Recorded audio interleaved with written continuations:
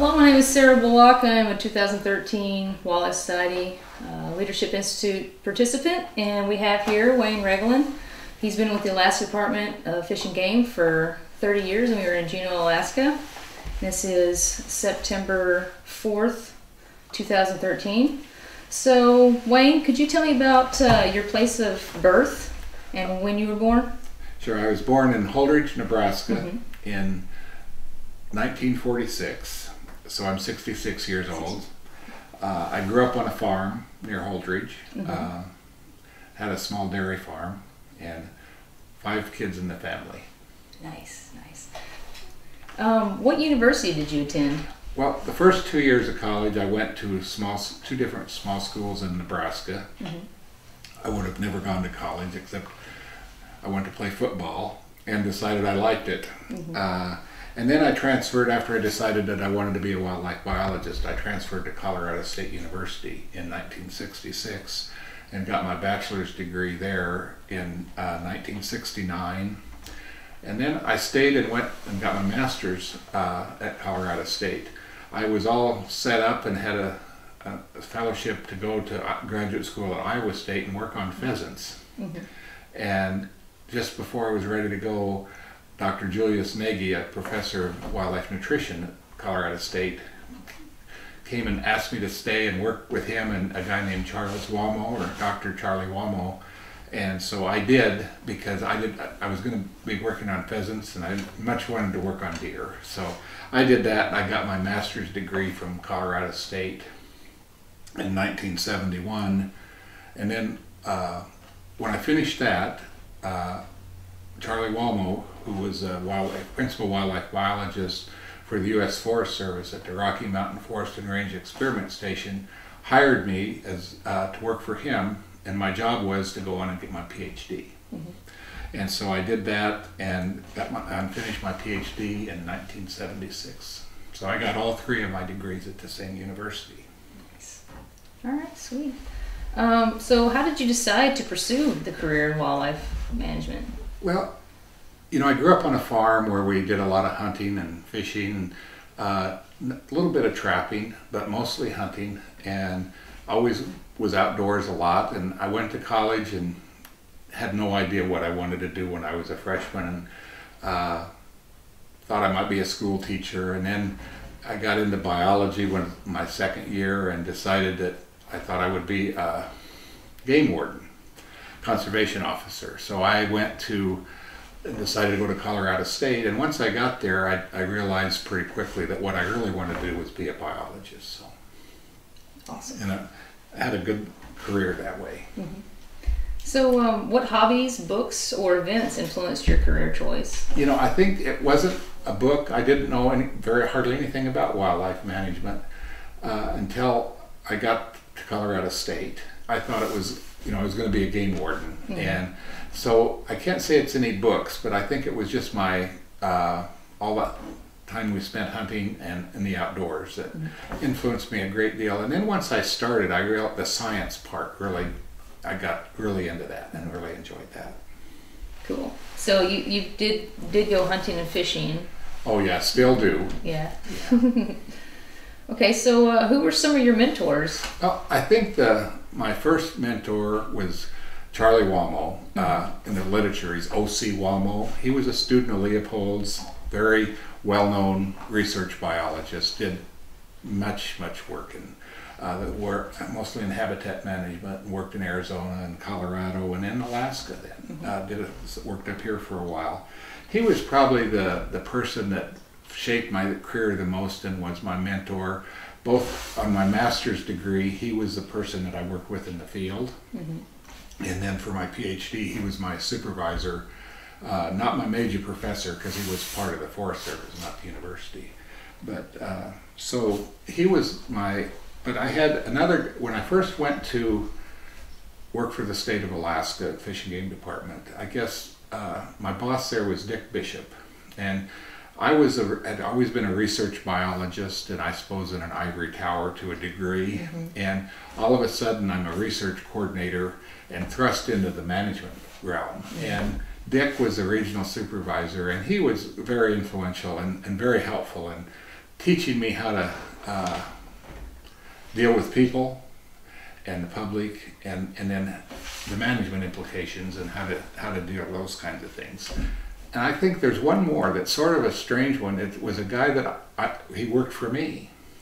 Was Dr. Bill Gasaway. He was uh, has always written hundreds of publications and was a real expert in predator prey management. And I came, I had always been in, working in wildlife nutrition and habitat and had a very strong background in, I had a lot of statistics courses, but not a background in population dynamics. And, you know, just through working with him, I learned so much. And he really uh, was valuable to my career and so helpful and taught me so much. And he, he went over, he retired, went over to Africa to study predator prey management, but he, he died early when he was only about 60. He had got cancer, so he's gone. Mm-hmm. But I think all of them influenced me in different ways. Mm-hmm. Uh, Wallmo, you know, was just a taskmaster. He was a scientist all the way, you know, just brutally honest, and that's how we always would say what you had to be as, as a scientist. Be brute, you know, with yourself. You mm-hmm. don't want to just have to tell the truth to whatever the questions are. You whatever answers you find, you tell the people the truth. Mm-hmm. and I see people, some people have a real reluctance to do that. Okay, awesome. So, um, what aspects of your formal education was most useful in your career? Well, I think it probably, the first part of my career, I was worked as a research biologist and as a, I, I would say as a scientist. So and there it was probably the coursework in statistics. I probably had seven or eight courses in statistics and math, and then more mathematics, and that be- was very useful to me and helpful uh, to design research projects and and to get all you can out of a research project. But so I would say the statistics courses, but also the, you know you, you have to have the biological courses too. And I went to Colorado State and they had an excellent program uh, and took a lot of zoology courses. And by the time I, because I went got all three degrees there, by the time I was done, I took all the wildlife courses, and uh, and most of the physiology courses. As when I on my master's, I specialized in animal physiology, and then for my PhD, it was I kind of got into plant nutrition, plant physiology, mm-hmm. so I, and and habitat manipulation. So. Uh, but your question, back to your question, and uh, as a then I became an administrator about halfway through my career, mm-hmm. and I would say the thing that you know, I, I when I thought about the question yeah, I knew you were going to ask, and I thought, what was it? It was probably English writing. Mm-hmm. When I was a freshman, they had a writing lab, and you had to go in, and all you did, you sat there for a whole afternoon once a week and wrote, and had a tutor, and there were like six of us in, uh, in that class. And I learned how to write, and then Charlie Wallmo was an excellent writer and publisher, and he taught me how to write the scientific uh, writing. And so those, uh, the writing in English were the things I think for in the administrative side because mm-hmm. you needed it also as a to write scientific articles. But once you became a administrator, you did a lot of writing and you had to mm-hmm. communicate with so many people. So. Great. So uh, tell me about your family. Tell us about your uh, your spouse. Uh, uh we married uh, in 1970. Her name is Mary Lou. Mm-hmm. She grew up in Aspen, Colorado. We met at Colorado State when I was a undergraduate, and we got married uh, just as I finished my master's degree. So mm-hmm. we were dated for about three years before we got married. We have uh, two children. Uh, I have a daughter that is the oldest, and she's a librarian in Cleveland, Ohio. Has three grand, wait, three kids, and my son is a dentist in Spokane, Washington, and he has two kids.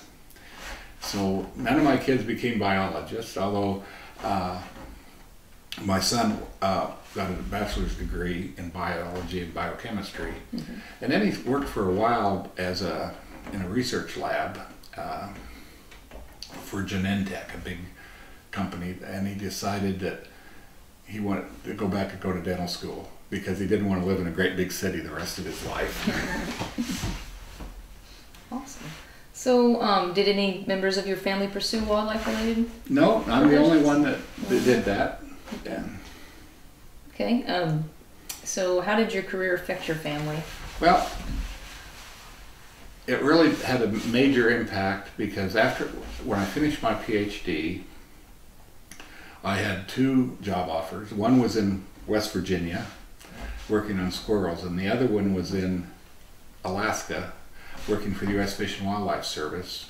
Uh, and I took that job. So it moved us to Alaska. I worked for the Fish and Wildlife Service uh, for the Denver Wildlife Research Center, and they had a field station in Kenai, Alaska. So we moved up here and thought it would just be for a short time, and it really uh, something we all liked it here, and have been here now 36 years. And the other thing is the opportunities to travel. I've really uh, through the job, I've been uh, many many opportunities to travel all around the world, and my wife has gone with me at lots of times.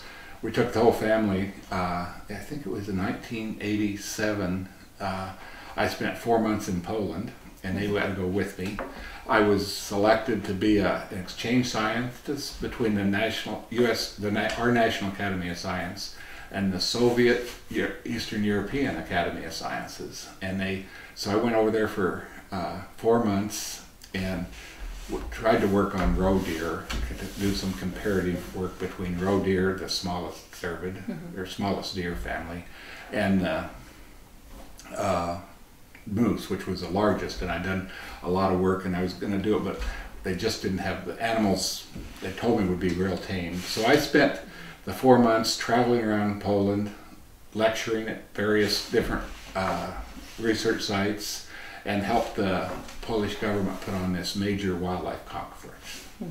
So uh, we got to travel a great deal. I've been uh, later on in my career. I was uh, represented uh, the 50 states on CITES, so I've been to Thailand and Chile and all you know lots of different places. So got to do a lot of fun things that way. So that's really had an influence on our life and our family. Okay. So let's go into your professional experience. So, how did you get your first job? Well, when I was, you know, I worked from the time I got to Colorado State. I was a non-resident. It was expensive, so I started working as a work study student right away, and that's how I met Charlie Wallmo. He was my uh, supervisor as a work study student, and so I. And then when I finished my master's, I, I worked in the summers always for Colorado Department of Wildlife, and then. Uh, worked for the Forest Service, and so I was a wildlife technician all for five years for the U.S. Forest Service or the Rocky Mountain Experiment Station while I got my PhD. And I consider that work. I published several papers during that, and uh, it was kind of a fun. A fun job because my job was to get you know the research that I set up was uh, all for my PhD, and I did a few other things too uh, on habitat manipulation on deer winter range. But Did a lot of those things. So, uh, but once I finished my PhD, I had an opportunity to come to Alaska. I, they, I wasn't going to apply for the job. I thought it was too far away, and uh, actually, uh, Chuck Stone, the project leader out of Denver, came in came to my house and, and sat down with me and says, "Why aren't you applying for this job?" And and I said, "Well, it's just a long ways away, and I wasn't sure that it was where I wanted to go, and I wasn't sure I wanted to work for the Fish and Wildlife Service. I was still thinking about working for the Forest Service, their experiment stations." And he says, "Would you fly to Alaska? Would you, if I pay your way, would you go up and look at the job?" And I it was after that there was no doubt, you know, and it was that kind of a job that it was Senator Stevens was a newly uh, appointed person member of the Senate Appropriations Committee in 1976, and he got money as you know first of much many millions of dollars in 1976, uh, fifty thousand dollars a year for five years for somebody to study moose habitat on the Kenai National Wildlife Refuge. And so I had money and more than you could believe in those days in, in 1977. So I accepted the job, and that's how I got to know Senator Stevens, and we had a long relationship that paid off for many years as we worked together on lots of things and got a lot of money for the Department of Fish and Game Mm-hmm. uh, because he loved to dole out the pork. Yes. So So let's see. Um, describe your first prof- professional position. Was it? It was with the federal. Right? it was yes, it was with the Fish and Wildlife Service. It was the nicest thing was well, I came up here and John Oldemeyer was a field station leader, and we were working on the Kenai uh, on habitat improvement. We had these big tree crushers, and uh, we're going to crush trees. And what I was going to do was uh, set up a major logging operation to show that moose habitat and logging were compatible and how to do it in small patches and spent a year designing it and collecting all the pre-treatment information. And then Jimmy Carter was president at the time and he decided after he'd been a president for uh, almost three years that they were going to manage the Fish and Wildlife Service just like the Park Service and there would be no more habitat manipulation period so there was no more tree crushing there was no logging it for sure and uh, so I switched gears and worked on moose physiology and nutrition. Uh, still had the money and switched over to working on. Uh, I had we raised tame moose, built an built a big uh, nutrition research center at the Moose Research Center, and worked with Al Franzmann and Chuck Schwartz, two guys from Fish and Game. So even though I was a federal employee, I worked at the at the Moose Research Center, which is a state facility, but it's on the refuge.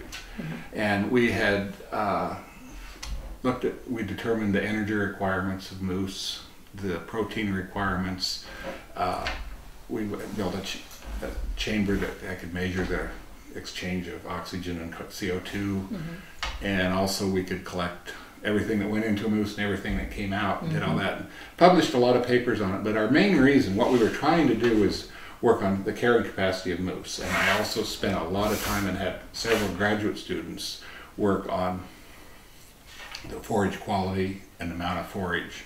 And we built a model, a, car- what, a carrying capacity model, based on what a moose requirements were and what was available. So, and it was sort of pioneering work in, in the area of carrying capacity. It was, and I think what I learned was it's really, really difficult. It's just, uh, there's too much area, there's too much variability. What you probably really need to do is use the moose as an indicator or whatever animal you're studying and other physiological traits and reproduction. But it was work, a lot of people, uh, still, it's still used a lot. A lot of people say we should know the carrying capacity before you manipulate a population. And there's ways to do that, but it's extremely difficult. But I spent a lot of time doing that and had a lot of, a lot of fun doing it. Okay. So where did you go from there? Uh, well, when I uh, I had five years of money, and after five years, the Fish and Wildlife Service had their priorities were that they weren't going to work on species that were hunted. Carter's philosophy again, and so I could have stayed there at the Kenai and worked on swans, but I was uh, offered a position with the Alaska Department of Fish and Game in Fairbanks as the uh, research, what they call the research coordinator. It was the person that research supervised all the research biologists working in the northern half of the state. We split at the Alaska range. So, and I took that job, and it was uh, in those days, in 1982, the state paid better than the feds, and so I. Uh, now it's much different. Uh, the federal government employees are way ahead, but in those days, uh, they the state paid really well because the pipeline construction was just ending. The benefits were tremendous because they had to do that trying to keep employees. So I took that job in 1982 as research coordinator. I continued to work at the Moose Research Center for about three years because I had graduate students and at the research center there's four large pens that are square mile each and we had them all stocked with various numbers of moose so we spent a lot of time trying to validate our carrying capacity model and we would predict, you know, what would do uh, various things, and then we were able to test it. So it was an interesting thing, and I, and I spent a lot of time publishing that. But I also supervised, I think, ten, maybe eleven. Uh, research biologists working all over the North Slope and all over the northern part of Alaska on a lot of predator prey relationship caribou and moose and wolves and lynx and sheep and bears. So a little bit of everything and broadened my experience. That's where I met Bill Gasaway. He was a, a moose biologist, but an expert in predator prey. He's written a monograph on it and lots of articles. And, and so I, I did that. And uh, the fun part of that job was just after I got there, uh, Congress and was pushing real hard to open the Arctic National Wildlife Refuge for oil development on the 1002 area, which is about 320,000 acres on the coastal plain where they know there's a lot of oil. And Congress, we got over a million dollars a year for several years to study that because there was tremendous controversy about it. It was sort of the environmentalists you know, uh, favorite subject, I would say, or you know, the thing that they really used. A lot of the groups were adamantly opposed to it, even though they'd never been there and didn't know what was going to happen. But it was it was an argument over wilderness versus non-wilderness. But they used wildlife for it. So we set up all these studies, and I worked with a guy named Larry Pank from the Fish and Wildlife Service, and we were co-project leaders but we had biologists from Fish and Game, Fish and Wildlife Service, Canadian Wildlife Service, the Yukon government, and lots of, and, and Dave Klein at the university and Bob White at, UAF. So we had lots of graduate students on the project, and we studied a little bit of everything. Uh, even geese, songbirds. Uh, focus was always on caribou because that's where it was, and Pank and I said, how in the world these caribou move a thousand miles? You know, the porcupine herd winters in uh, southern or way far south uh, around Whitehorse, and then they travel way north. And so we started working with satellite radio collars and worked with the, uh, Dave Beatty was owned Telonics, and he was interested in building satellite collars. They'd had at that time this was in 84 and 85, 86, they could use satellite radio collars on, on uh, whales and other marine mammals and because, because they, the water temperature is very stable. Nobody had ever done it with marine mammals or with terrestrial mammals. And so uh, we've got, we entered a cooperative program with Dave and we devised, he built them we first we put them on caribou with the pens. First we had them in my house to see if they'd work at all. Uh, then we had them at the put them on uh, reindeer at the university's facilities, and then we put the first six out on the porcupine caribou herd, and we didn't have any. You know, I remember every night at 11 o'clock I'd go in and get on the computer, which was this big box because we didn't have many computers those days, and. Uh, I'd call Dave, and he the, they were polar orbiting satellites, so they and that's why they wanted to do it in Alaska. Mm-hmm. They go over. They had the polar orbiting satellites would circle Alaska every six times a day, whereas like on the equator once a day. So we that's why we did that. And he'd call and he'd, he'd tell me where they were, and I had a big map on the wall with dots. And, and then we would go out and we'd test if we were close, you know, did some of that, and, and it worked. And so then I hired, since it was working, we were pretty sure it was going to work. We got, I got a graduate student named Steve Fancy. I don't know if you ever knew Steve. He got his PhD at the University of Alaska, and he he put everything together with help from other people, but on we computerized the whole thing.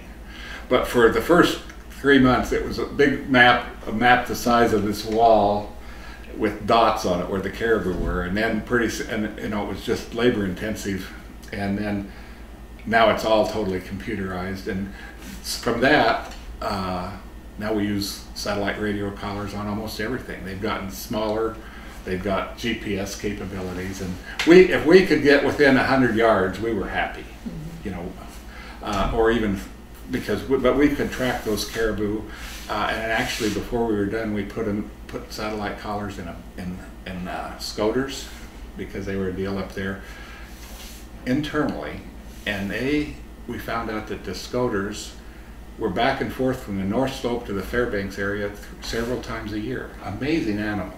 They we found the caribou moved so much, you know, much more than we ever anticipated. So we learned a lot of things, and that's one of the funnest things I ever did. It was just cutting edge, you know, and really fun to do. So I did that project myself. Well, I had, uh, but we had lots of other people doing, working on other species and that kind of thing. So then I, uh, in 1988,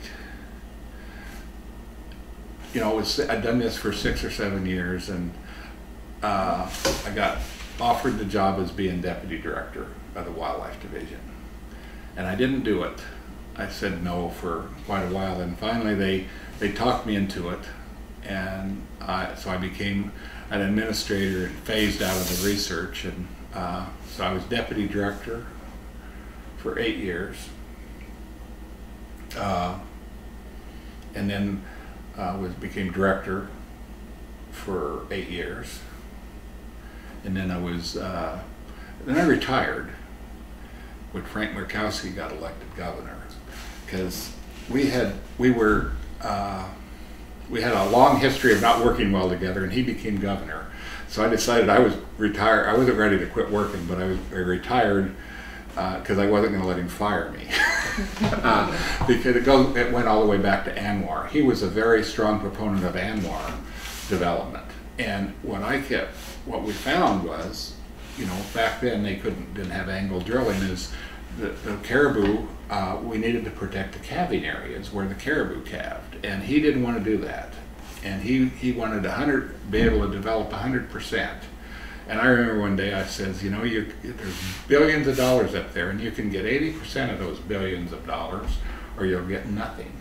And he wouldn't compromise. And he blamed me.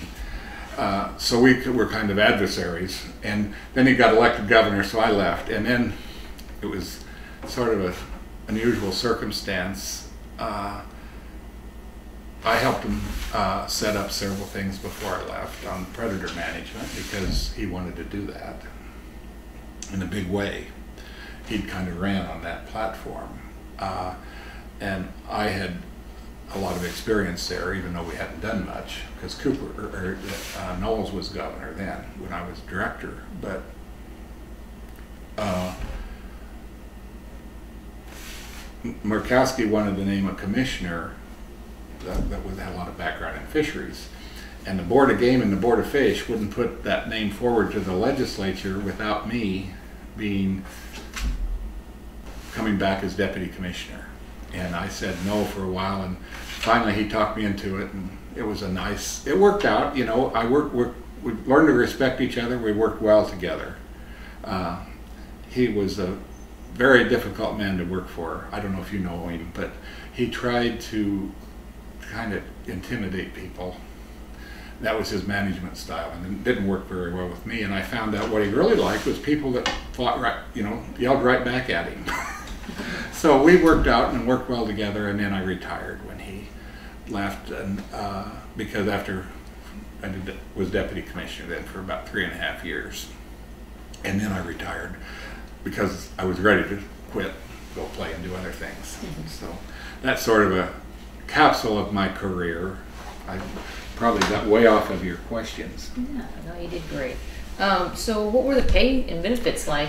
Oh, you know, I remember when I first came to Alaska, you got the 25% COLA, and I made $27,000 a year, and I thought I was rich. You know, we kind of had always been not ha- have much money, and so we were able to buy a house right away and everything. And then I, uh, went, when I went to work for the state, it was probably 35,000 a year, and just wonderful benefits for medical, 20-year retirement, uh, and full bene- medical benefits after you retire for the rest of your life.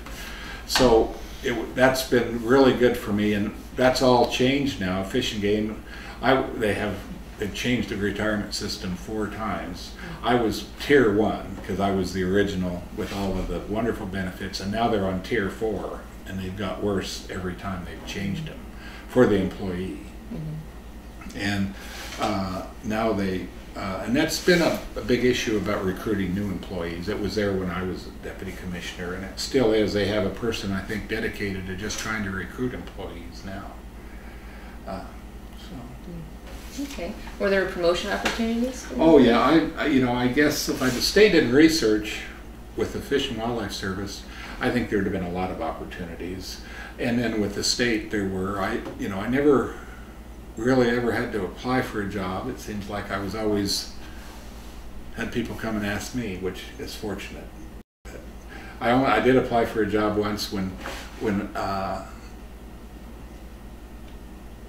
with the co-op unit with the at the University of Alaska, and I wasn't selected, and that's probably the best thing that happened to my career. Although it would have been a very different career, you know. Okay.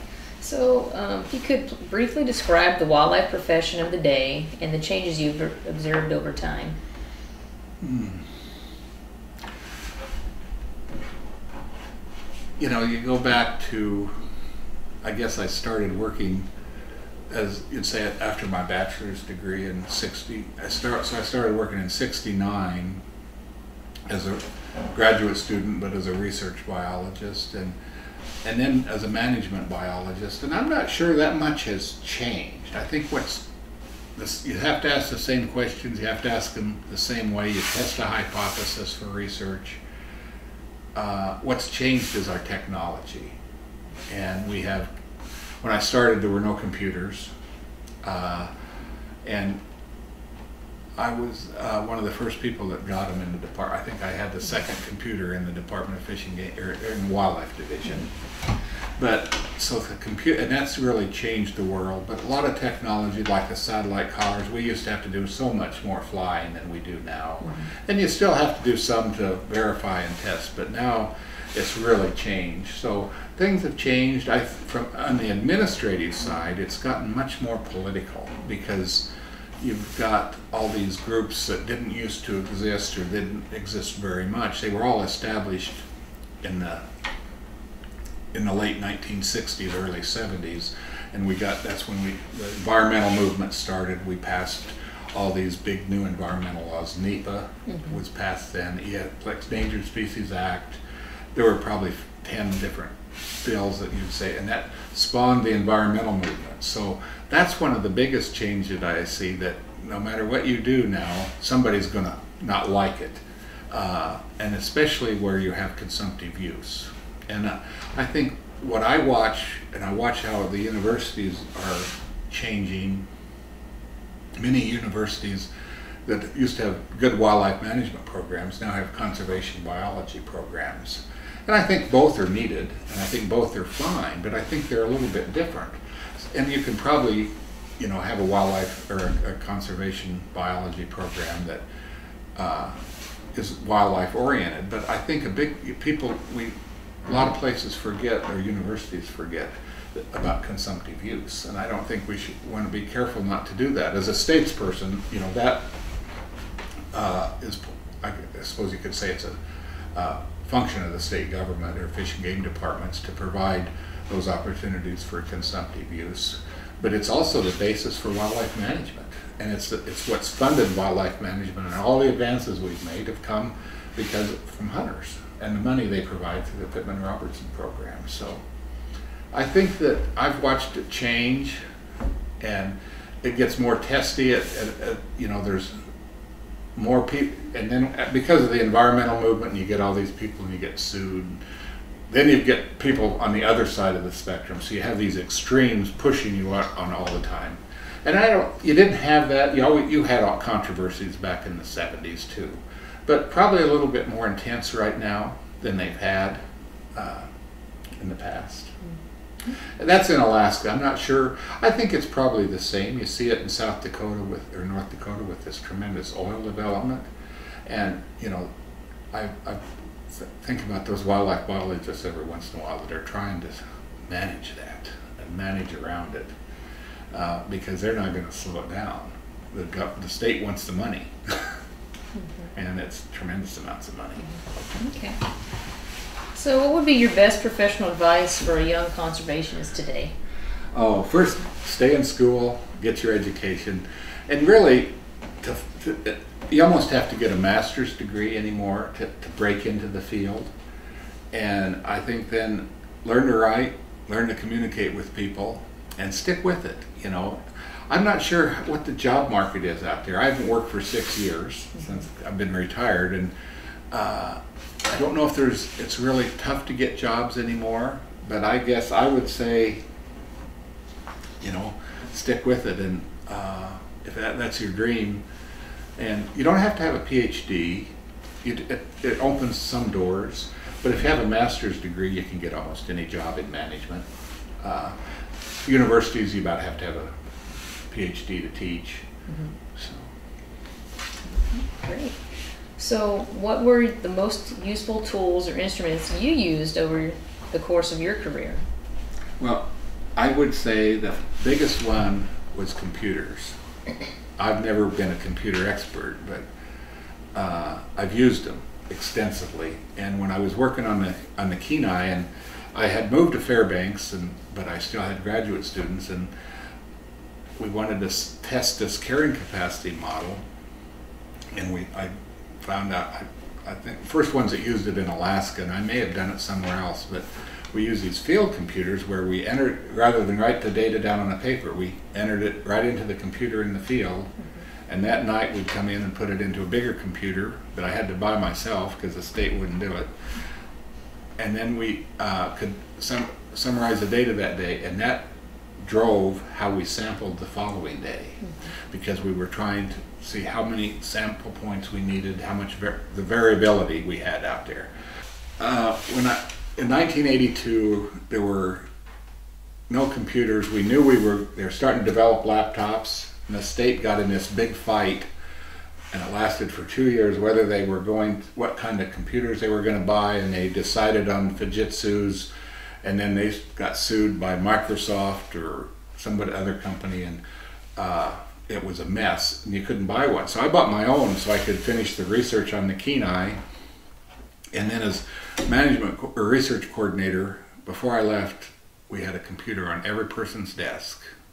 And I also had, we hired a biometrician. One of the first hires I made was I had a vacant position and I hired the first regional biometrician for the department. We had one person that we called our chief statistician that was in Anchorage, and basically what what they did was the drawing hunts and that kind of thing. But I hired a biometrician named Dan Reed. I don't know if you guys know him. He lives in Nome now, and I got so much grief from that for about the first year until everybody realized how valuable he was. He made every project better. He did work both in not just for the research biologists, but also for the management biologists, and how they could, you know, they're collecting all the all this data, and you know, well, if you collect it a little different, you can know a whole lot more, you know, and so now we have regional biometricians in every region. In fact, we might have two in one region, the department. And I'm proud of that, getting that done, because it was sort of something that I, wasn't a popular decision, but I think that was really, so I would say that I think the computers were the big change, but biometricians go along with that, you know, so that was that. And then uh, the, working on the satellite collar radios, you know, that was innovative and that was fun. So that uh, got us started down that road too. Great. So, what is the most inter- interesting project you've been involved with? Well, you know, the ones I liked the most was probably when I was just a simple research biologist at the MRC. You know, I uh, had all the freedom in the world. My boss was in Denver, and I worked closely with Fish and Game Department. We shared budgets, and we were doing things nobody had ever done before. You know, measuring moose energy requirements, nutritional requirements, and and that turns me on. I still like to do that kind of thing, but that's probably not what I, I would say that probably the thing as a researcher, the most working on ANWR and developing the satellite radio collars, but also developing a program that gave Congress a whole lot of answers and the decision makers in Washington D.C. a whole lot of answers. And you know what we said there back in in the early 80s or mid 80s was you need to protect the calving grounds. And you know now the technology has changed so much they can get to that oil without ever getting within miles of the calving grounds because they can angle drill. So technology there too but the fight has always been over whether it's going to be a wilderness area rather than oil. But i followed a director named Lew Pamplin who came over from the fish and wildlife service and I was his deputy director for six years, and uh, but he was a very autocratic leader.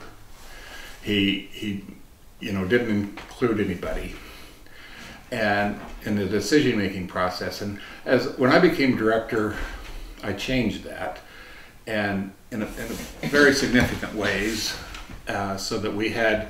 I created a program review committee of all the leadership, the the regional deputy director, assistant directors, and all the regional supervisors, and we'd meet about three or four times a year and talk about where we wanted to go as a division and big issues. As director, you still have to make the final decision, but I've always found you make better decisions if you get a lot of input, and uh, especially input that doesn't just agree with you. You want critical input. Uh, so I did that, but I also at that time, when I became director, we didn't.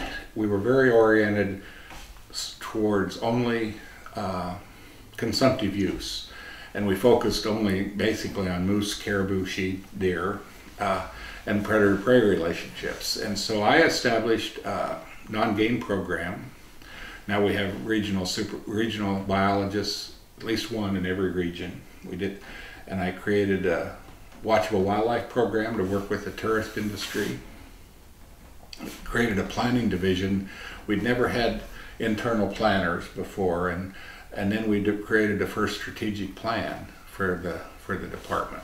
So I did worked on a lot of those things. A lot of them were very controversial. There was a group that didn't want you to ever uh, do anything but manage for more moose or more caribou. They just didn't. Uh, Thought that this was all a waste of time. We changed the name of the division from the division game division to Division of Wildlife Conservation.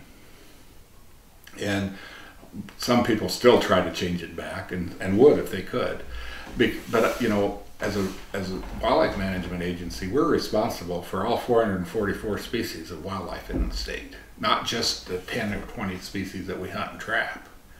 And so I thought we had to have a program to deal with that. And, and so we set all those up. And they all continue today. The one that's floundered that hasn't uh, was the Watchable Wildlife Program. Uh, just, uh, you know, when you think about all the tourism and all the opportunities for education, uh, we should do that. The other thing we expanded, we had an, a, a wildlife education program through Project Wild. I, you've probably heard of that, but we, we created the Alaska Wildlife Curriculum and added that to the Project Wild. And we have now wildlife, people working in wildlife education in every region, and we didn't have before I was director. So I did, uh, that was something I thought was important and it was important to deal with. When I became deputy commissioner, well, I started working a lot at the international level then when I became director. I'd always worked uh, closely with, as a research biologist with people in Sweden. They'd been over here and I'd been over there, and I went over and evaluated their whole program one year with five other biologists, and uh, so I and I really enjoyed the international uh, work. And then I was when I became director, uh, just through people you meet, I was asked to put on the, a conference in Japan uh, on wildlife biology through the wildlife or the World World Ecological Congress. They meet every five years. They have like ten thousand people show up, and the Japanese were hosting it for the first time. And I, why they asked me, you know, I don't know, but they gave me hundred thousand dollars to do it. Uh, I got to invite all my friends to go to Japan. and so we put on this big conference, and it was very successful. And then when the conference was over, I got was asked by the Hokkaido governor. Hokkaido, there's 48 states in Japan, and most of them were little things like our counties because it's a small country. But Hokkaido, the big island, is one state by itself, and they had a governor that was rather green, and he invited me, and there were seven of us from around the world to come and give him advice because he had two big problems. He had about 300 Asian grizzly bears, were highly endangered species, left, and they were only lived on his island. And they all hibernated under these big oak trees that were worth, you know, forty, fifty thousand dollars as lumber. So there was this huge conflict, and so we gave him advice. And then they also had sick deer that were just overrunning them, causing big problems. So you know, wasn't much we could do about that. But I stayed involved with the Japanese and and advised their government. And when I started, they had no wildlife biology programs in the entire country at the universities. They had like 300 universities, not one wildlife curriculum. And we, I says, they wanted to become, you know, modern wildlife managers. And I said, you can't just send people to U.S. or England for school. You got to have it here. And so now there's several and I've got several publications in Japanese. Don't know what they say for sure. but that was something that I really thought was important that I did, you know, getting to uh, to work with and help help a country uh, get started in wildlife management. So I enjoyed that, and and then I became uh, the representative for the Wildlife Society uh, the liaison between the International Union of Game Biologists. And so every two years I'd go to that meeting and we tried to establish a more close working relationship with them. And it's never worked out very well. They're, they're quite parochial. They're not quite sure they, they don't want us to take over for them. And all we wanted to do was work with them. But we've had uh, three world ecolo- or, uh, international wildlife conferences now. The first one was in uh, Hungary and I helped get that thing going when I was on the council. Uh, and we went and did that, and then there's been one in New Zealand and South Africa. So there's, uh, and those are, you know, I think it's work important that we work together as that. So, but it, that's an opportunity to travel, and I, you know, for a year I represented, I did that for probably 15 years for the uh, Wildlife Society was the liaison, and and they'd pay my way, and I would uh, they'd buy my ticket and I'd pay for the rest of it. It worked out pretty good. And the other thing I did when I became was director was I got real involved as once you become the director level, you're able to get quite involved in the International Association of Game Biologists, IAFWA they call it. It's the association of all 50 states, and the federal agencies are all members too, but it's primarily a states' rights organization. And I worked closely with that. I uh, was a co-chair of the Teaming with Wildlife effort. I don't know if you've ever heard of that. And uh, I was because I had a I knew Stevens, I knew Young, and Young was chair of Resources Committee. Stevens was on Appropriations, so they had me co-chair that with the director from Georgia, and we came. Well, we did what we wanted was a program like PR where we could have it would be an automatic, uh, you would put uh, appropriation every year based on taxes on uh, binoculars and backpacking equipment. And we got close, but we never quite got there.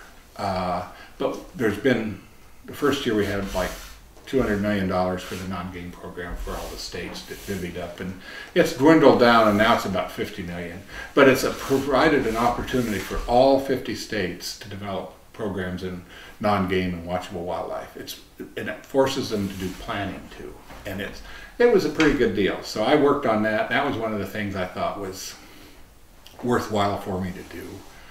I when I was working on as deputy commissioner at IAF uh, through IAF, I created the, an oceans policy committee and chaired that for several years and we reauthorized, worked with Congress and got this Magnuson-Stevens Act reauthorized, which is vital to the fisheries and it, it managed all the fisheries from three miles out from the coast to 200 miles. And National Marine Fisheries Service does a lot of that, but the state's involved, and that's what you, the North Pacific Fishery Management Council and Stevens. We changed we, and we didn't have to har- argue with him at all, but the only only uh, fishery council, there's seven of them in the country, uh, that listened and they kind of had a policy they'd always followed the scientists. They have a scientific board, tells them what the catch could be, and they never exceeded it.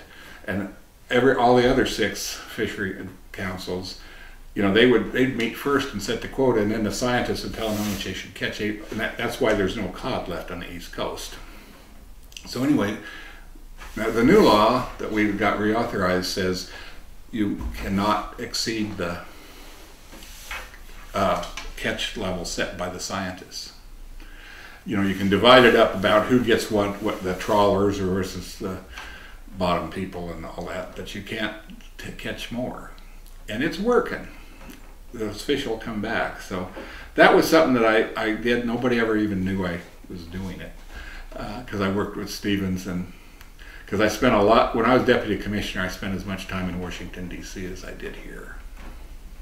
One of our big efforts was we were trying to revise and get EP, the Endangered Species Act amended. Uh, not, and I, I will always fight. We need an Endangered Species Act. It's a good act, but it's being misused, and we need to make a change. It's being used as a tool to stop development rather than a tool to protect endangered animals. And we we came that close. I had all these sponsors, and we lost right at the end. Uh, it was an election year, and nobody was willing to just step out and be a leader. You know, you I found that in Congress all the time. Just nobody wants to take the lead.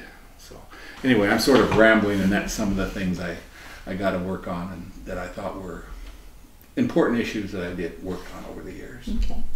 So, what was your most pressing issue you had to deal with? has to be predator management.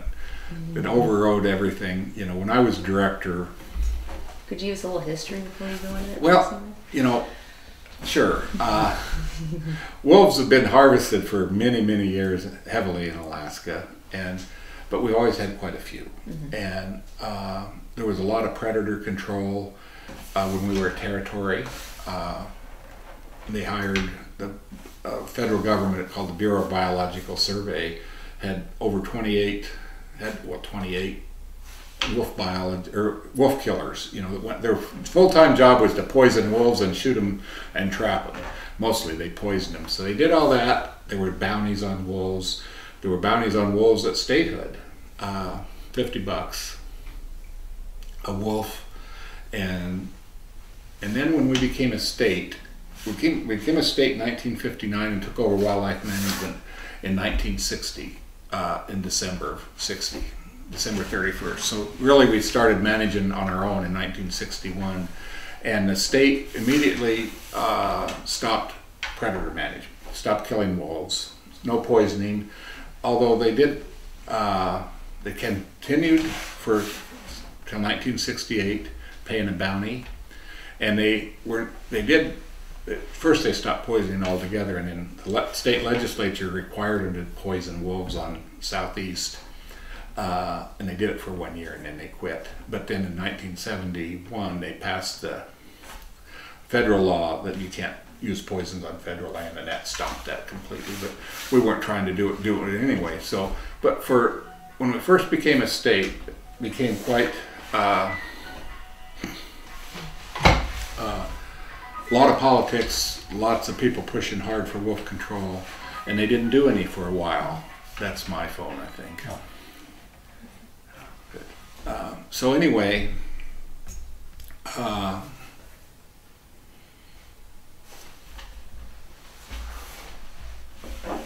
we we didn't do any wolf control, and then we had in 1975. It, I've got this is all documented with all the dates in my book. Mm-hmm. Uh, the state started uh, because of pressure to a wolf control program in 1976, 77, right in there. And when I became director, you know, it, that was the primary issue, and it was just we, the legislature was pushing real hard. What we had was before uh, when uh, Cowper, uh, Steve Cowper was governor of Alaska. The day he got uh, the day after he got elected, or day after he took office, he declared that there would be no wolf control uh, during his tenure of governor, and he was only there four years. After 18 months in office, he announced he wasn't going to run again. He hated being governor, and so he. Uh, but anyway, there was no wolf control. But I was a deputy director at the time, and I knew that when we got a new governor, you know, it was uh, there was tremendous pressure, and they to do it, but it was just kind of a quiet thing. So we started a planning process to develop a plan of how to manage wolves, a strategic wolf management plan, and work with the board of game. And I we created a big planning team with 13 people, and I represented the department on that. And we came up with the strategic plan. After Cowper, Wally Hickel got elected, and he was gung ho for killing wolves, and he ran on the platform that he was going to do that. So everything changed from we're not going to do anything until we're going to kill them all, and you know we just it was uh, a very uncomfortable time to be in the department. And I was still the deputy director uh, at that time. Dave Kelleyhouse was named Becky's uh, dad was named director, and he was very controversial because his nickname was Machine Gun Kelleyhouse because he had ordered him, ordered an automatic gun, and he was a very good director. Uh, but he had a bad rap about being on wolves, and and and he had a he he was very adamant that he wanted to harvest wolves, but. Uh, after a few months, he became a very good director. He was a smart man, and, and I worked well with him. But anyway, Hickel uh, we, we had a strategic plan and we were just about finished when Hickel got elected and we never quite finished the whole plan. You know, we needed another meeting and the new administration didn't want to share any kind of authority with a planning team. So they, uh, we, went, we took what we had to the board and they adopted it and then when the board, the next meeting authorized wolf control, instead of one area, they did two, and they did it in a big, air, big, you know, all in Unit 13, uh, Game Management Unit 13 by Glennallen, and everything just hit the fan. I'll tell you, we had we had over a thousand, hundred thousand letters. This was before email, so we got a hundred thousand letters. The phone never stopped ringing. The secretary almost quit, uh, and. Uh, and they also bombarded the governor's office the same way. And Hickel blinked because they had the tourist boycott, and he was in the hotel business, and he was deathly afraid that it was going to hurt tourism. So his idea was, all we got to do is bring all these people together and sit down and talk. And if we if they we can explain to them the problem, they'll understand. And I begged him not to do it. Everybody begged him not to do it. It wouldn't work. We just and he didn't care. It was he, he was sure it would work. So, and I got the job of organizing the summit because they thought Dave was too controversial. So as deputy director, I had to orga- I organized the whole summer summit. We had we held it. We had like a hundred people from around the country come and talk, but we held it in the hockey rink in Anchorage or Fairbanks, and there was probably a thousand people in the stands watching us. It was a disaster. Just people, you know, we had people wouldn't they didn't want to talk to each other. They wanted to talk to at each other. They wanted to talk on television. And when that was all done Noel or Hickel said we couldn't use airplanes to kill wolves but we had to do trapping you know ground-based wolf control. So they did that and they killed one year. The first year 100 wolves and the second year about 100 maybe a few more. And then uh, that was four years, and then Hickel got uh, didn't run, and Tony Knowles got elected governor, and Knowles hated the program, and so he uh,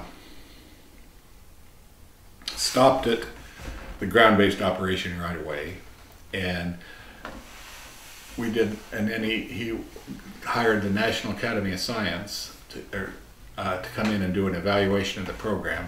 And I sat on that. I was acting director at the time. When Knowles got elected, they fired, well, Kel, they tried to fire Kelleyhouse, but he'd already been moved by the commissioner back uh, to a fur bearer biologist position in Fairbanks because he only had like nine months left till he could retire. And so the Knowles administration couldn't fire him. He was back in a protected position. And they appointed me as acting. And I wasn't, you know, I was acting for like four months. And they finally then appointed me, but uh, as director. So I was director for eight years under Knowles. And he, he, he always, he didn't like wolf control. And it became obvious after a while he was never going to do it, but he was never going to say no. He looked at it as a political problem that for, to solve rather than a biological problem. So we did all kinds of planning. We did had these planning groups, and he did do the allow us to do the sterilization program. We uh, in the 40 mile country, uh, and we sterilized wolves in I think 12 or 15 packs, and to rebuild the 40 mile caribou herd, and uh, then we relocated all of the subdominant wolves and just left those the sterilized alpha male and alpha female, and they held those territories, and the uh, 40 mile caribou population almost doubled in four years. It was just phenomenal, and then over time, you know, it goes down, and but the herd built up pretty high, and but Knowles never would did authorize wolf control, and he. Uh, we had just battle after battle, and that was the thing that took so much of my time as director. We were in court a lot, uh, and we had all these planning teams, and then the legislature started passing intensive, what they call intensive management laws, trying to force the governor to do wolf control. And they did pass, but that, when I was there, we passed the intensive management laws. Some of them are still on the books, but there were enough loopholes in there that we, you know, even with Murkowski, when I was deputy commissioner, we did some wolf control then, but we didn't have to, didn't do it in the way they did later on, you know. It's, so the laws can be used by uh, managers to do wolf control without, in a proper way, I would say, or without overdoing it. But uh, that's not, it all depends on who the director and the commissioner is, how they want to do it. So anyway, we, that took a great deal of time. And once uh, Knowles got re- uh, elected or re- reelected, and then when he was, his eight-year term was up, Frank Murkowski, who'd been our U.S. senator for 26 years, became governor. And that's when I became. A few months after he was governor, I became deputy commissioner, and uh, I worked quite a bit on wolf management. Then we started doing using the intensive management laws and doing wolf control in, in, no more than two areas at a time in a small places where we knew that it could have probably work. Wolf control, I've always said, if you want to spend the money, you can have more moose if the habitat's available, uh, good enough to do it. And so uh, they've done that, and we during the when I was there as deputy commissioner and Matt Robus was the director, we had a a, wolf control program I thought that was reasonable and worked well and, and started to rebuild the moose populations in several areas. And then Palin got elected and the whole scene changed. She was, uh, she appointed people uh, as that she wanted to very much expand wolf control and she did a lot of things that over time and uh, I think have been very detrimental to the department, to the state of Alaska. We uh, and she's inaugurated some of these, and she hired a guy, forced the department to hire Corey Rossi, first as assistant director or assistant commissioner in charge of how did they put that uh, abundance, wildlife abundance. Well, then uh, that wasn't good enough, and they replaced Doug Larson, who was the director at that time, uh, and got with uh, Corey Rossi as director of wildlife division, and then Palin quit, and uh, Parnell took over, and then Parnell was reelected. So Parnell's kept that same leadership people in there, and uh, he's made appointments to the board that you know every vote seven to zero, and pushing wolf control and bear control. They're killing lots of bears now. They killed over almost 500 ba- black bears in Unit 16 uh, last year. Uh, and I'm not sure that that's necessary or appropriate in my mind, but that's where we are now. And then Rossi got, you know, fired because he was violated the laws, several laws. Uh, but the same policies are continuing. Uh, right now, they're going to start doing wolf control on the Kenai National Moose Range. Going back in time, Kenai National Wildlife Range. When I first started, it was a Kenai National Moose Range, and it was managed for moose. And then in, in '82, when they did ANILCA, they changed the name to the Kenai National Wildlife Refuge. But it's on, you can't do wolf control on federal lands, and on the very northern part, there's about 83 square miles that are state lands. So the board is, and the department is going to do wolf control on those 83 square miles that are sort of checkerboarded out there. Impossible to do. Uh, first, that's not good moose habitat there, so there's no moose. So it means there's no wolves, but they're going to do it. You know, so we're doing. I think the department's doing things that are foolish, just because it's popular, and you shouldn't do it that way. If you if you want to be popular as director, you should never be director, because you're never very popular. anyway, Has this issue been resolved? No, I don't think it ever will be. I think that there's ways to manage it effectively, you know, using a public process and, but I think that when you go start shooting bears out of helicopters, I think the pendulum will swing way past what, what's reasonable. That's my personal opinion, and I'm not in charge anymore, and I'm glad I'm not. Has your perspective or opinion on that issue changed over Oh, time? You know, when I first started, I, I've always felt that it was something that we should do, but you should never do it as, you know, as a everywhere. It should be used in special cases where you've got something has happened and you've had, and, and a population has gotten trouble, and you can go in and you can give it a boost. And but now we're doing it as a routine management practice, you know, all uh, lots and lots of places, and I don't think that's appropriate. So, uh, but I don't think it's changed. I've always felt that way. And then when I was in, the director, that's how we did it. Well, we did when I was director, we didn't do anything except the uh, the sterilization program because Knowles would never say no, but he never said yes to wolf control. That's why he got in so much trouble with the legislature. Uh, but under Murkowski, I thought we had a very reasonable and responsible program, and I think it's a little bit uh, over the top right now. And I tell the biologists that too. So, what do you think the most difficult thing you had to overcome in your career?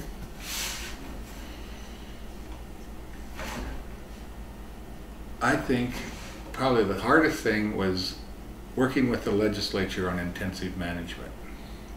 There were some people in there that were being pushed extremely hard by members of the public, and they and we got a law passed when we were all said and done. And Dave Kelleyhouse was involved in this at the, at the uh, for a little while too. Uh, was very responsible law that gave us enough caveats that we didn't have to do stupid things but it also allows you to do really foolish things if you wish to. And uh, so I think that we passed, we got worked with, we're working closely with the legislature. We got laws that really worked and could be managed, so you could be still be, call yourself a professional wildlife manager instead of just a wolf killer. Okay. Um, what was the high point of your career?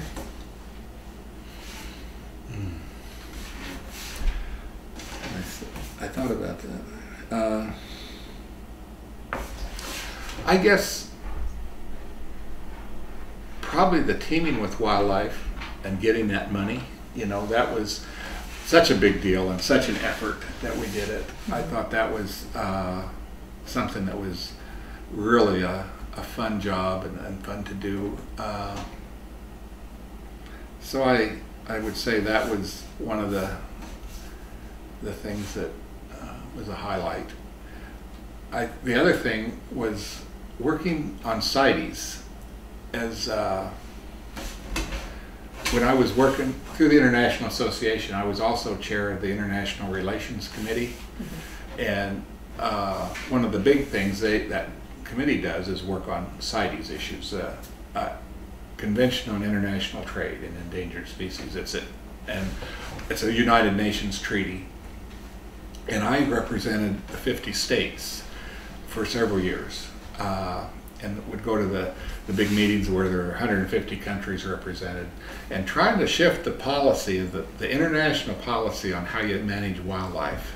And we, we were very successful when I was there on elephants to keep elephant hunting in certain places because people just want to stop it, you know, and there's, uh, and we've been able to keep that going a lot. So I, I think that was another thing that was a I don't know if it's a highlight, but it was something that I thought was very worthwhile doing, uh, and I enjoyed it a lot.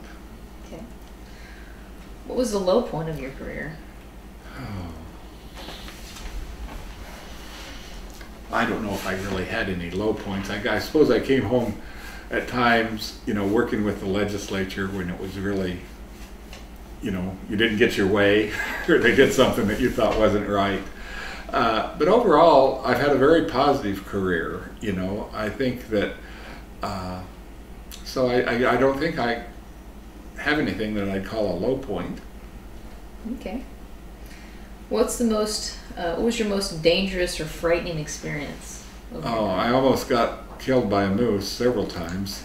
Uh, when when we started the moose nutrition program, we had to capture baby, you know, newborn moose. And I, we were out in a helicopter and they dropped me out and I go down and grab the moose and run back and the cow comes right at me and I, there's almost no trees and I got this little tree about you know seven eight feet tall and I'm standing behind the tree and this moose is after me and it, I thought I was just flat going to get killed. And the helicopter pilot was good enough. He came in and he touched the moose in the butt with the, with the arm you know mm-hmm. the landing gear that was the most scared I've ever been. I've, I've been, you know, and I've flown hundreds and hundreds of hours in airplanes. I've never had a frightening experience. You know, just I'm lucky. Mm-hmm. What was your most humorous experience? Oh golly, probably the same thing. All the people still tease me about that moose trying to kill me. but uh, I I don't really I can't think of anything that was a funny, humorous experience. Okay. What would you consider the three most significant contributions to the field? Mm.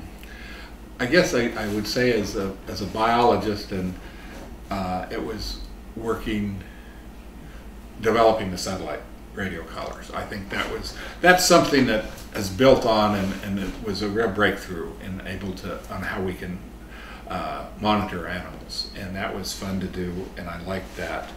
Uh, I think the other thing was working to make the division a more professional, broad-based organization with not just uh, a consumptive use division, but we added all these other programs, and I think having a planning effort in there was really important. I think you need to have a non-game program and an education program. I think that I'm proud of those, and I think those were something that uh, was something that was really good to do. Uh, so those are kind of one from each. That two, that's two. What would be the third one? Uh,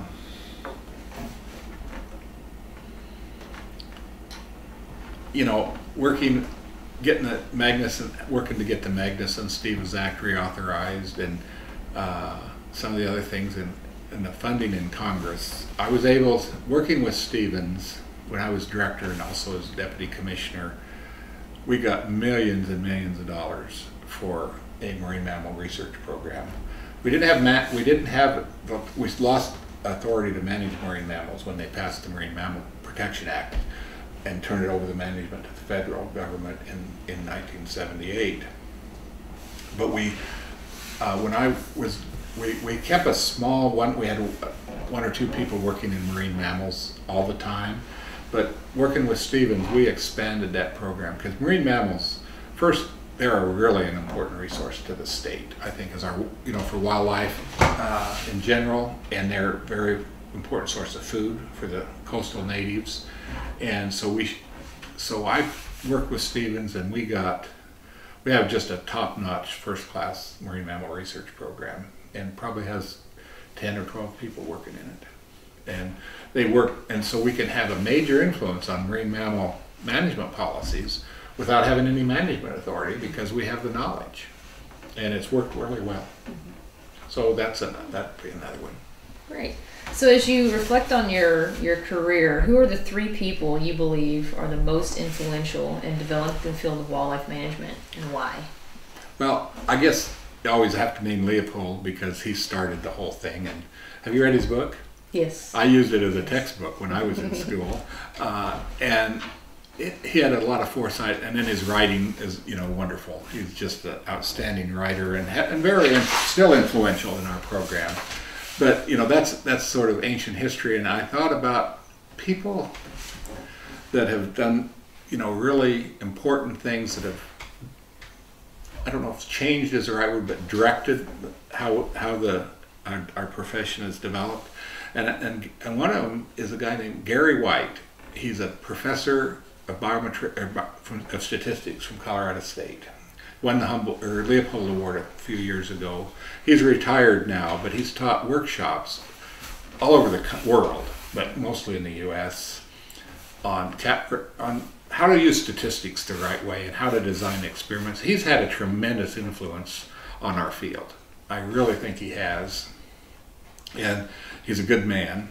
And then another one that I think that nobody thinks about is Max Peterson. Max Peterson was the chief of the Forest Service for like eight years under the first Bush. He's the one that started the multiple use and you know, de developed a wildlife program in the Forest Service. And then after he retired, well, you know, don't last as chief too long, but I think he was eight years, he became the uh, executive director of the International Association of Fish and Wildlife Agencies. And he made that, you know, he turned kind of a club and into a really vibrant organization that had tremendous influence in Congress. And we had many times we well every, it happens probably every five to ten years there's a big move to divert the pr funds to something else. The last one was you know the uh, the victims of gun violence.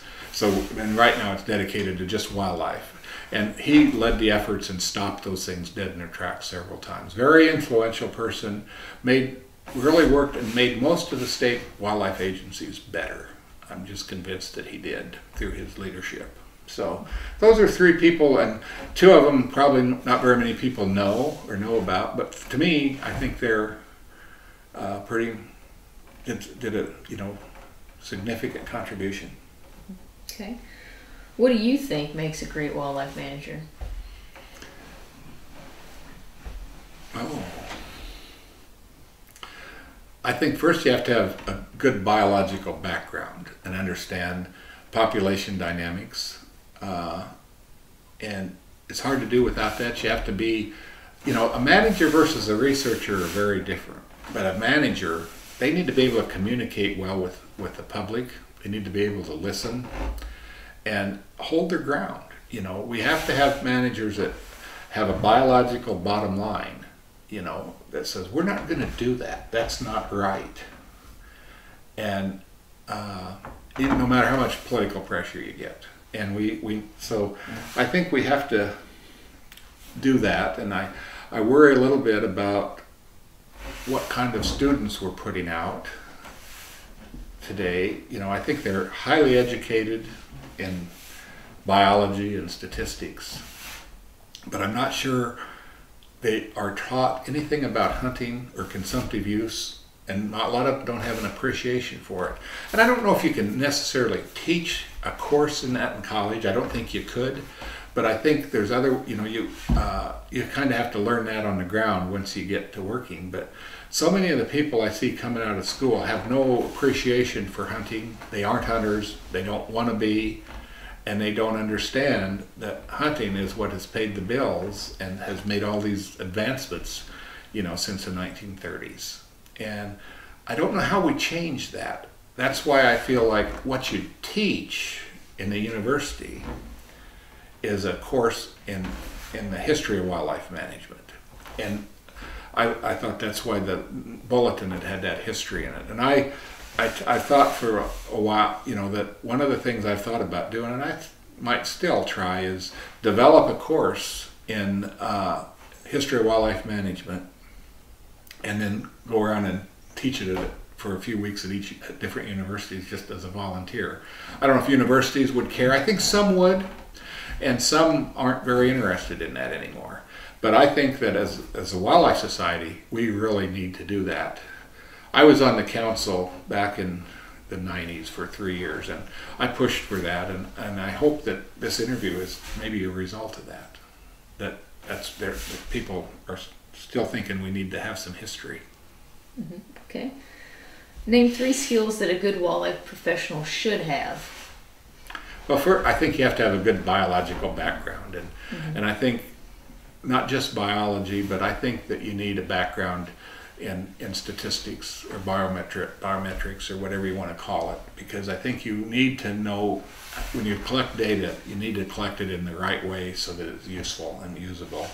I think probably the other one is is good communication. You know, that's to listen, which is hard for me to do but it's hard for every you know but you need to be a good communicator and the biggest part of that and the hardest part probably is listening uh, and hearing what the other people are saying. So i think that those are the, a couple of the things that uh, a good wildlife biologist needs. And i don't think that you have to be a hunter to be a wildlife good wildlife biologist. I know a lot of them that are very good wildlife biologists that aren't but they understand hunting and they're not, you know, and they just don't do it themselves. And they understand its value, and it, uh, it's a way that we manage populations. Okay. So, why become a pro- wildlife professional today? I still think there's a lots of opportunities and uh, to manage consumptive use and just to make sure that the world's managed properly, you know, or uh, I, I, I hope that we have I think that we have really good, smart people in the wildlife profession now. And I think it's amazing to me. When I gra- my graduating class, we had, I think, 48 people and one female. And today at Colorado State, probably 60 or 70% of the graduating classes is female. I think that's good. I think that's healthy for us. It'll swing back and probably level out again. But boy, when I, would, you know, a long time ago, 30, 40 years ago, it was a rare thing to have uh, have women in it, and that's one of the things that I was proud of when I was director. I had the first assistant director was a woman, the first area biologist, and uh, I think those were important. There's that glass ceiling out there, but you, you know, you have to help break it. And, but I think on today's, uh, you know, why why would people want to be a wildlife biologist? Same reason I do. It's a wonderful profession. You know, you can make a contribution to the world. I think, and people are interested in it, and you, we need to do it right. All right. So, how did your membership in the Wildlife Society help your career? You know, I joined in 1966 when I first went to Colorado State. They had a student chapter, and I went to the first meeting, and there were probably six people there. You know, and they just amazed me. I thought I thought the whole, you know, class would be there, and uh, over time it grew quite a bit. So, but I was uh, active in it all the time, and I think it, it it's. Uh, I don't know if you'd say it opens doors, but you meet people. It, it's I think it's a responsibility to be part of our professional society. I've always said that everybody should be a member. I don't think you can mandate it, but I think that I really urge people that work for me, you know, to be involved. And you don't have to, you know, be in the forefront. You can, you know, do, there's lots of things you can do. You can just be an editor, be edit papers or referee or whatever. You know, there's lots of different ways to to contribute. And I found, you know, I think working with uh, the local chapters, I really liked. I've never got very involved in the in the northwest section because it was just it's a long ways away uh, and expensive to go to. I did go to when I was on the council uh, for those three years. I went to several of the meetings in the northwest section to you know to be the representative uh, and enjoyed that. Uh, and but I think that it's something that you shouldn't join it for what you can get out of it. You should join it for what you can do for it and I think it's it's highly valuable part of our profession. I just think that it uh, we need to have that voice, independent voice of just biology or science, and sit down. You can sit down before Congress or write these professional policy papers, and so that people know what's going on and have a have a source of information that's not biased. And I think that we have a pretty good reputation Tom Franklin for many years was our lobbyist. Was not he was that's not what his title was, but that's what he was. He was he was our representative in, on Congress, and now he's moved over. I think he's working for Ducks Unlimited. No, Nature. I don't know where Tom went, but he left now. But he was uh, would testify before Congress on many many bills and the budget, and I think the Wildlife Society has a very good reputation on the Capitol Hill and opens doors for us. And, and we should. We should have that influence. Okay. What are your thoughts on the future of the profession? You know, I think it's it's bright. I, I guess I watched this kind of almost a split between conservation biology and wildlife biology, and I don't think it should be there. I don't think we need that. I don't think it's healthy. I can kind of see why it's happened, and, and you know, you get into the east and this and some of these places where hunting isn't a big deal, and, and most of the people that are going to school don't want to be hunters. But I, I'm not sure that it, uh, they shouldn't be learn some of that to be a, uh, a field biologist and not understand consumptive use, I don't think is uh, productive for the for the world. But I think that uh, I see it coming. I hope it. I hope it changes, and I hope we start teaching more about history of of, wild, of the wildlife profession because I think there's a lot we can learn from the past. Okay. Well, is there anything else you'd like to tell others about your career? Gosh, I can't. I think we covered everything Yeah. I've ever done. Well, I you have not. recently written the written a book, Fish Oh. Politics and Wolf Wars: The History of Fish and Game in Alaska. What what influenced you Well, to write that book? you know, I when I retired, I was looking for something to do, and I decided we didn't have any record of who was in the leadership positions in the department back from back to the statehood. There just was no record, and I thought pretty soon that's going to be lost. So I started. I put that together and started doing that, and did a lot of reading, and I and it just sort of built into a book, mm-hmm. and and so I talked about the book covers the history of fish and wildlife management in Alaska, basically from it's a history of the department. You know, you could write another history of the Fish and Wildlife Service, and I touch on the Forest Service and the Fish and Wildlife Service in my book, but it's oriented towards the Fish and Game Department.